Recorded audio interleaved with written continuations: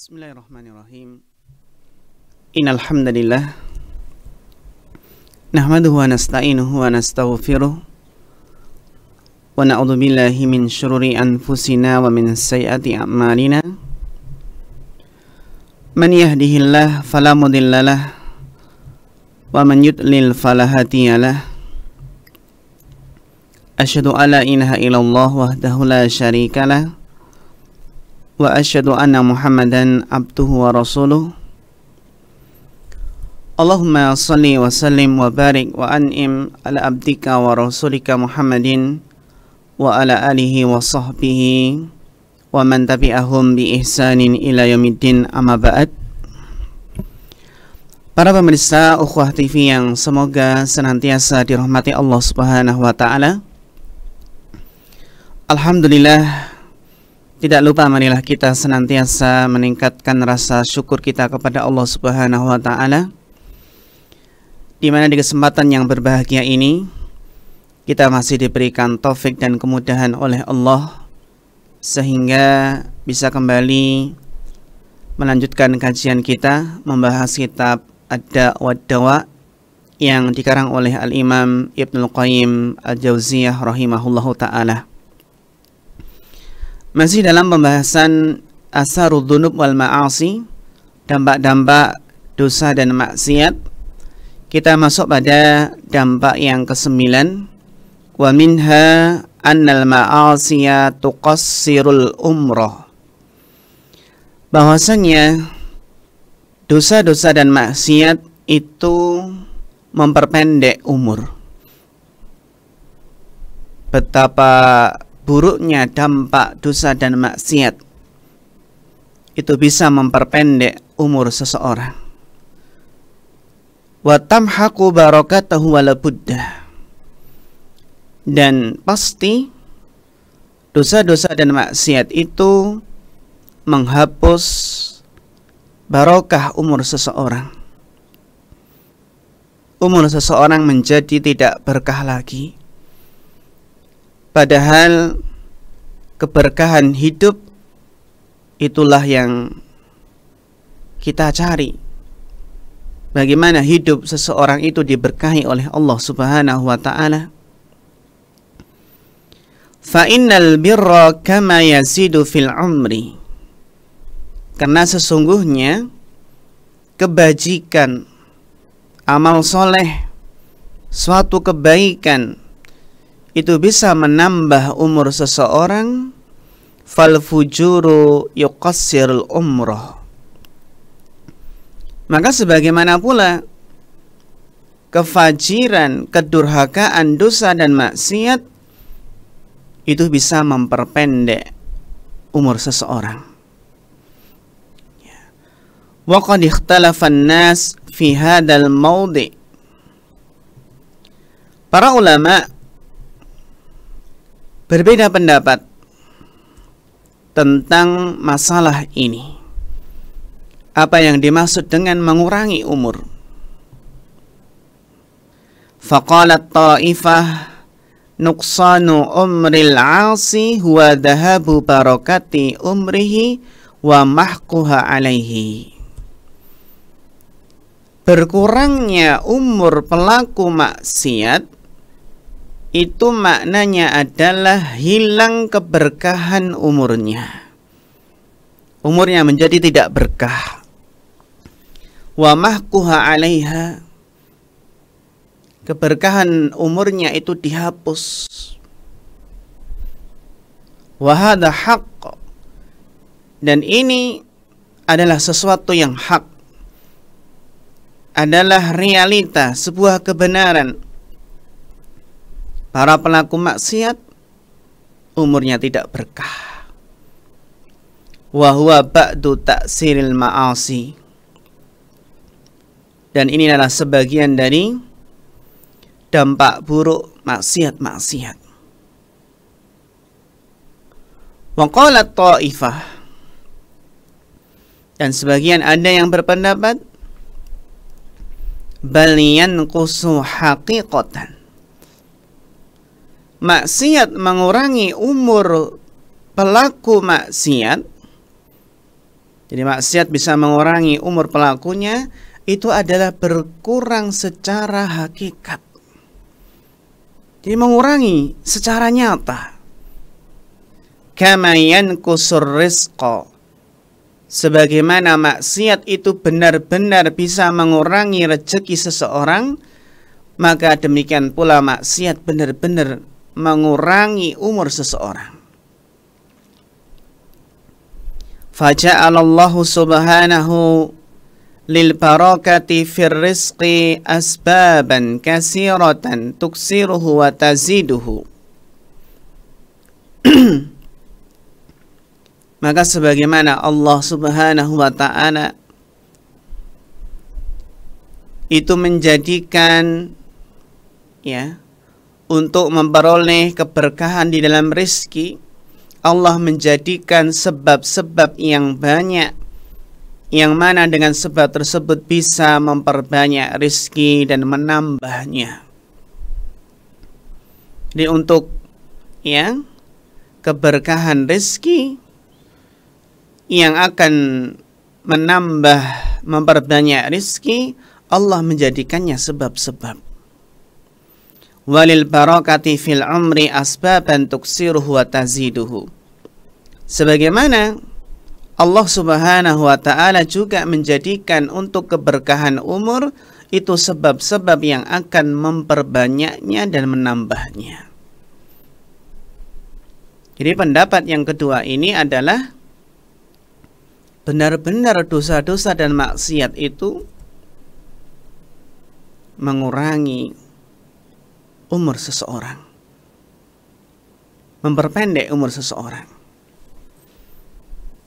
Mungkin kita pernah mendengar ataupun melihat bagaimana contoh dosa ataupun maksiat. Contoh durhaka kepada orang tua kita lihat bagaimana anak yang durhaka kepada orang tua umurnya nggak panjang. Kita pernah melihat di suatu daerah ada anak yang durhaka kepada kedua orang tuanya. Umurnya nggak panjang. Karena di antara dosa yang disegerakan balasannya hukumannya adalah di dunia ini adalah ukukul walidain durhaka kepada kedua orang tua.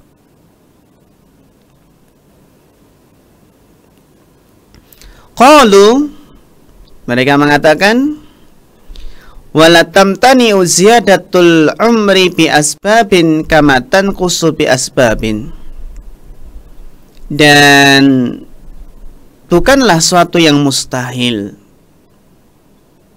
bisa jadi seseorang itu bertambah umurnya dengan sebab-sebab sebagaimana berkurang umurnya karena sebab-sebab pula. Fal arzaku wal ajalu was-sa'adatu wasyaqawatu. Karena apa? Rezeki, ajal, kebahagiaan, kesengsaraan, was-sihhatu was-suqmu wal maradu ya sehat sakit wal ghina wal faqru kaya miskin wa in kanat bi qada'i rabbi azza wa jalla meskipun itu adalah berdasarkan takdir Allah Subhanahu wa taala tapi yang harus kita pahami fahuwa yaqdi ma yasha bi asbabin Allah Subhanahu wa taala menentukan menakdirkan sesuatu itu adalah dengan sebab-sebabnya. Allah menentukan masyasya menakdirkan sesuai dengan kehendaknya itu adalah bi asbabin dengan sebab-sebabnya.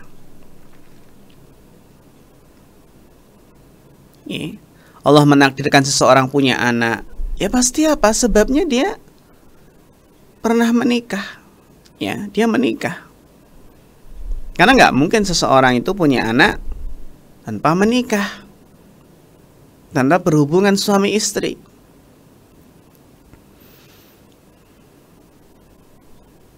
ja'alaha mujibatan li musababatiha muqdiyatan laha Jadi ada hukum sebab akibatnya.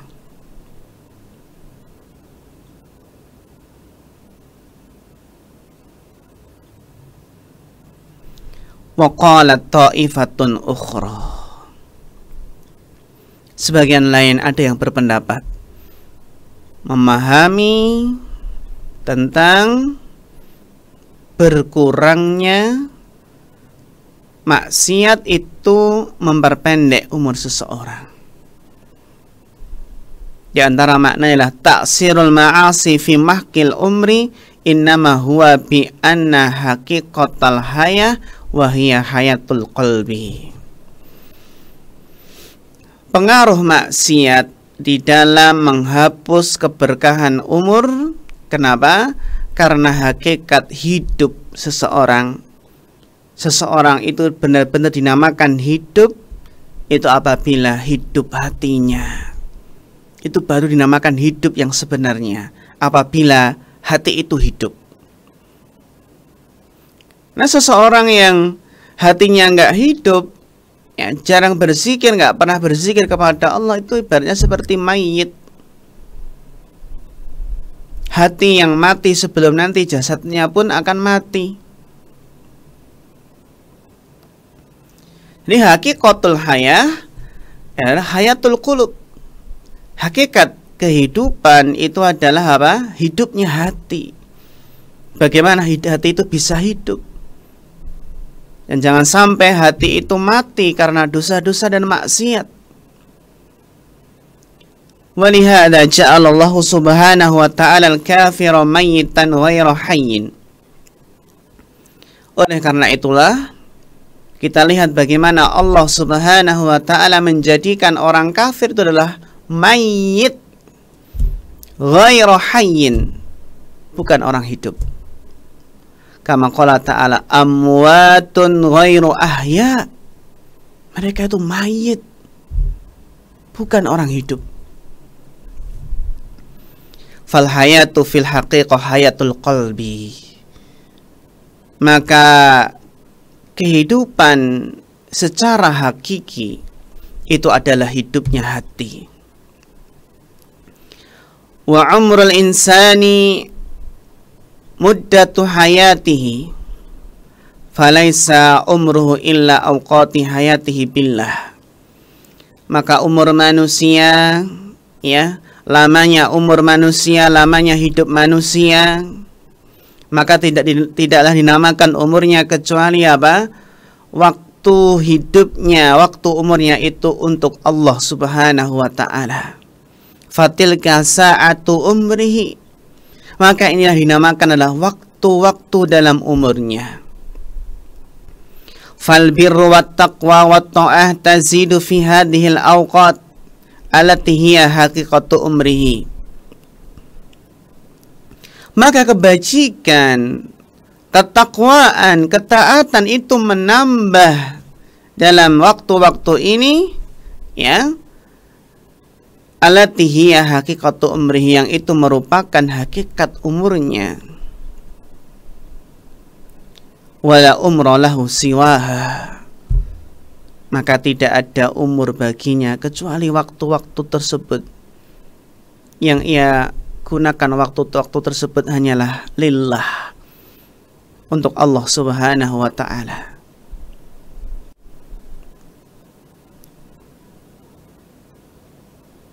Wabil jumlah. Maka kesimpulannya. Fal abdu idza a'rada anillah maka secara umum dapat ditarik kesimpulan bahwa jika seseorang hamba berpaling dari Allah washtaghala bil ma'asi dan sibuk dengan berbagai kemaksiatan. Do'at alaihi ayyamu hayatihi haqiqah allati yajiddu hibba idha'atiha yawma yaqul Jadi ya bisa ditarik kesimpulan seorang hamba yang berpaling dari Allah sibuk dengan berbagai macam kemaksiatan maka sirnalah kehidupan hakikinya. Yang kelak ia temui. Sirnalah kehidupan hakikinya. Yang kelak apa? Akan ia temui. Pelakunya akan merasakan akibat kemaksiatan tersebut. Pada hari ketika ia mengucapkan dengan penyesalan ya yajidu ghibba idha'atiha yawma yaqul ya laitani qaddamtu li hayati pelakunya akan menyesal akibat kemaksiatan tersebut pada hari ketika ia mengungkapkan penyesalan. Ya laitani qaddamtu li hayati. Aduhai alangkah baiknya kiranya aku dahulu mengajarkan amal soleh untuk hidupku ini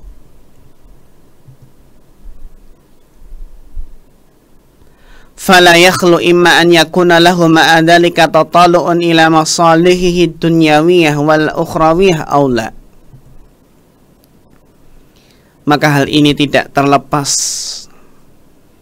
dari dua hal. Apakah sebelumnya seseorang itu mempunyai visi tujuan tentang kemaslahatan dunia dan akhirat ataukah tidak? Fa in lam yakun lahu tatallu'un ila dhalika faqad dha'a alaihi umruhu kulluh. Jadi lihat hal ini tidak lepas dari dua perkara. Apakah sebelumnya orang tersebut memiliki visi untuk maslahat dunia dan akhirat ataukah tidak jika dia tidak memiliki visi tentang hal itu, maka seluruh umurnya sia-sia. Seorang itu nggak punya visi untuk masalah dunia dan akhirat, maka sia-sia umurnya dan hidupnya akan hilang percuma. Faqad alaihi umruhu kulluh wa dhahabat hayatuhu batilah. Maka seluruh umurnya itu akan sia-sia dan hidupnya hilang percuma. Wa in kana lahu tatalun ila dhalika talat alaihi tariq bisababil awaik wa ta'assarat alaihi asbabul khair bihasabi inshighalihi bi abdadiha wa dhalika nuqsanu haqiqiyun min umrihi Sebaliknya, apabila dia punya visi, punya tujuan hidup, maka jalan yang ditempuh terasa panjang. Karena apa? Karena adanya berbagai rintangan. Orang dalam meraih cita-cita itu pasti banyak ujiannya, banyak cobaannya. Karena apa? Karena tentunya untuk memperoleh ke, apa kesuksesan itu membutuhkan apa? Membutuhkan perjuangan.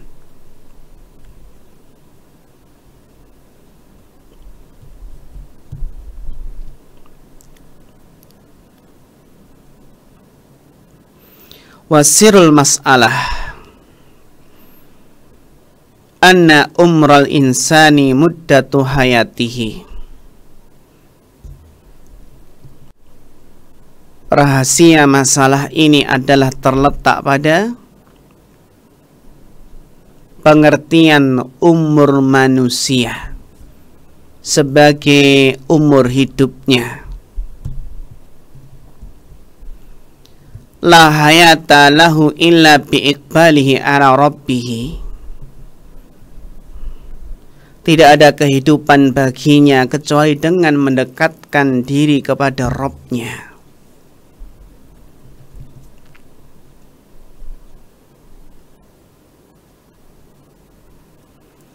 Wa tana'umi bi hubbihi wa dzikrihi wa isari mardatihi. Tidak ada kehidupan baginya kecuali dengan mendekatkan diri kepada Robnya Menikmati zikir dan kecintaan kepadanya Serta mengutamakan ridhonya.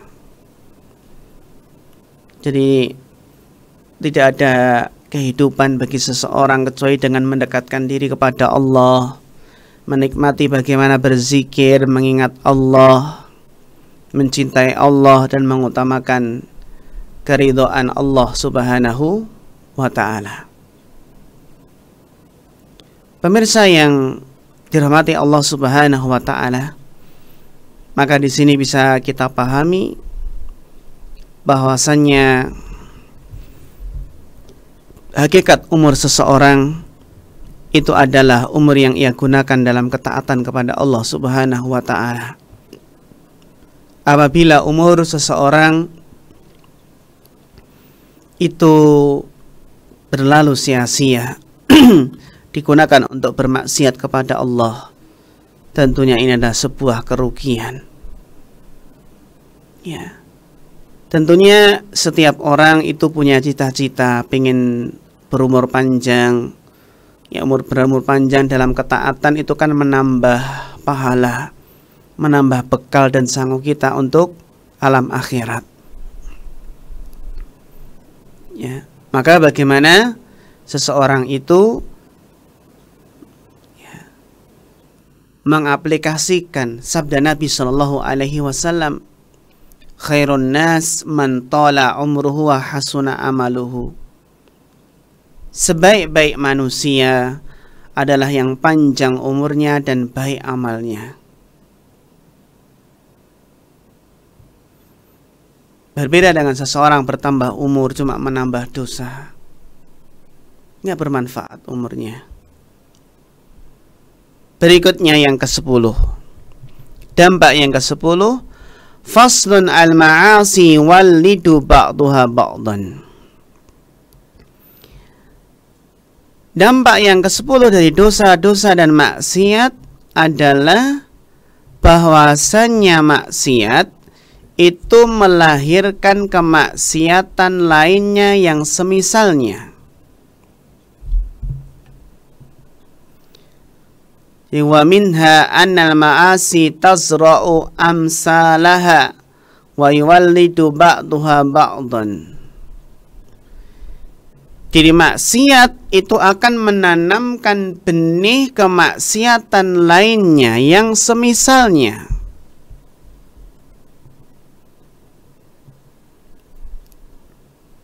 sebagiannya melahirkan sebagian yang lain hatta ya'uzza 'ala al-'abdi mufaraqatuha wal khuruj minha sehingga ketika maksiat telah menanamkan kemaksiatan yang lain melahirkan sebagian yang lain sampai-sampai pelaku maksiat merasa susah sulit untuk meninggalkan dan keluar dari kemaksiatan tersebut.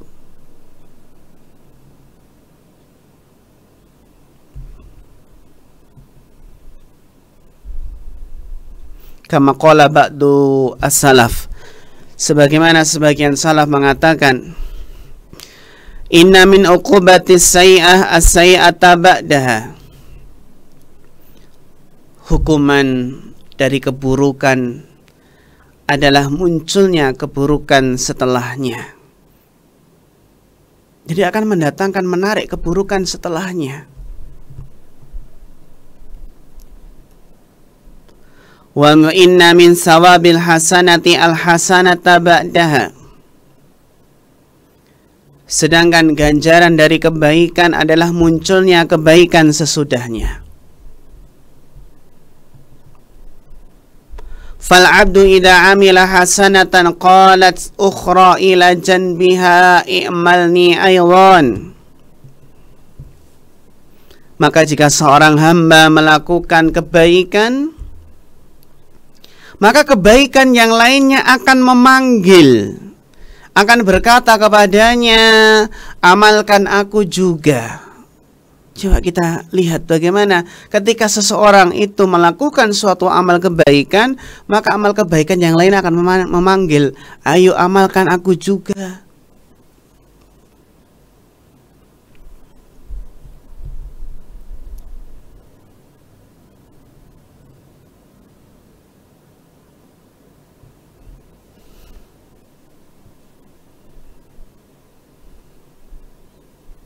Fa'ida amilaha qalat as-salisah kadhalik wa halumma jara wa tadha'afa.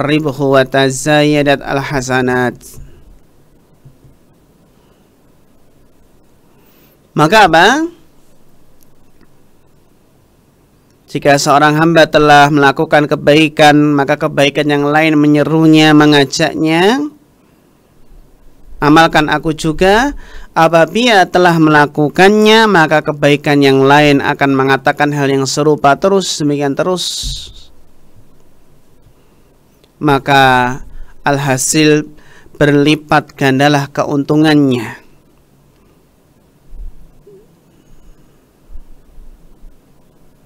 Ya berlipat gandalah keuntungannya.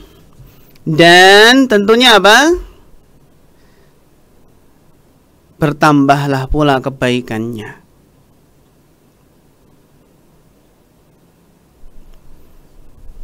Bertambah pula apa? Kebaikannya. Wa kadzalika janibus sayiat aydan hatta tasira at-ta'at wal ma'asi hayatin rasihatin. Bahkan sebagaimana apabila seseorang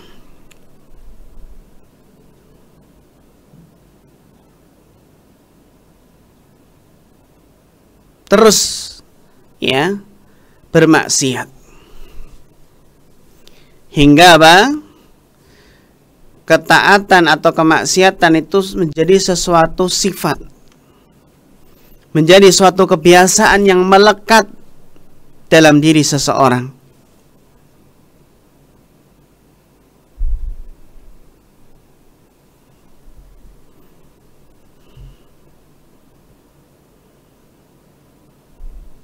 Maka apa?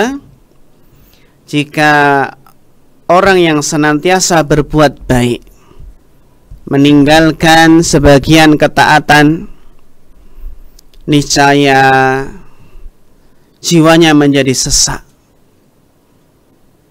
Bumi yang luas terasa sempit karena dia meninggalkan apa? kebiasaan berbuat baik. Ibarat ikan yang terpisah dari air jiwanya akan kembali tentram jika dia mengerjakan apa yang il telah ia tinggalkan.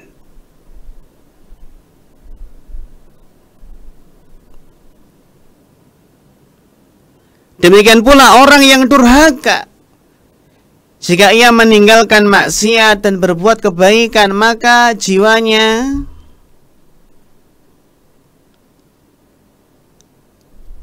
yang meninggalkan maksiat berbuat kebaikan maka jiwanya akan sesak dadanya terasa sempit sampai akhirnya ia kembali kepada kemaksiatan. Itu orang yang durhaka. Jadi ketika dia meninggalkan maksiat dan berbuat kebaikan maksiat yang biasa ia kerjakan maka jiwanya kok terasa ada yang kurang gitu. Terasa sesak. Jadi dia apa? Terasa sempit. Akhirnya dia terdorong untuk melakukan maksiat lagi Bahkan banyak orang fasik yang tetap melakukan maksiat meskipun dia telah tidak merasakan kelezatannya. Banyak orang fasik yang tetap melakukan apa? Maksiat meskipun dia tidak merasakan kenikmatannya. Faktor pendorong inilah apa faktor pendorongnya adalah karena wahsyah, karena kegundahan ketika berpisah darinya dari maksiat tersebut. Hal ini sebagaimana dijelaskan oleh Al Hasan Bilhani dalam syairnya. Beliau mengatakan, wa ka'sin syaribtu ala laddatin wa ukhra tadawaitu minha biha segelas khamar yang kuminum terasa lezat. Namun berikutnya hanyalah penyembuhan dari yang pertama.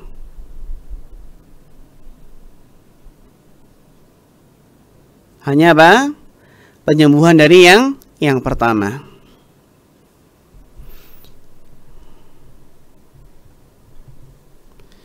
Jadi seorang hamba akan terus-menerus melakukan ketaatan, mencintai, membiasakan dan mementingkan kebaikan sehingga Allah mengutus malaikat dengan rahmatnya untuk menolong, menganjurkan, mendorong untuk berbuat baik. Ketika tidur, ketika duduk, ketika dia melakukan ketaatan tersebut,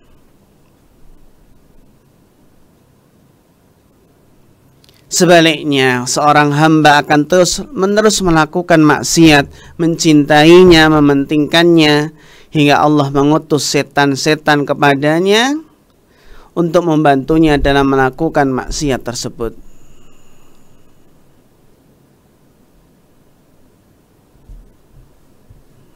Maka apa? Maka pada kondisi pertama Allah menguatkan tentara ketaatan dengan bantuan malaikat. Sedangkan mereka menjadi para penolongnya. Ya. Dalam ketaatan yang terbaik kalau kondisi kedua tadi dia menguatkan tentara kemaksiatan dengan bantuan setan sehingga mereka menjadi para penolong dalam kemaksiatan. Ini betapa bahayanya dampak buruk dosa dan maksiat itu bisa melahirkan membawa kepada maksiat yang berikutnya. Sebagaimana tadi kita jelaskan bagaimana ya